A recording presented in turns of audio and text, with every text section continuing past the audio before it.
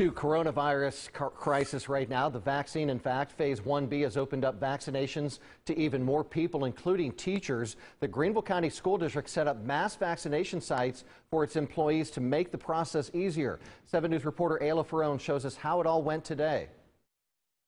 The majority of employees here at the Greenville County School District receiving vaccines today, bringing the district very close to herd immunity.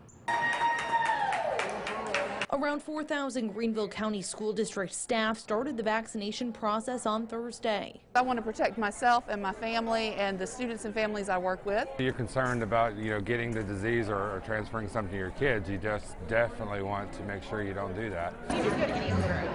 Yeah. Gary Jackson and his wife Angie both work for the district and say it was a no-brainer for them. I mean, our schools have been very good about, you know, doing the precautions with the plexiglass and the social distancing and the mask.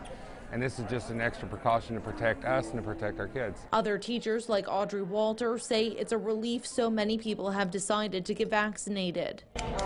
It just makes me feel a lot better to know that a lot of people are very interested in doing this and they're willing to do it for everyone. As soon as they came out with a vaccine, we knew that could be a game changer for education. District spokesperson Tim Waller says the district moved to an e-learning day to make it easier for staff to plan their day. Early on, there were concerns uh, by really everybody involved uh, of about giving vaccines on such a large scale. Originally, the district had more than 6,000 of its employees signed up, but that number has gone down.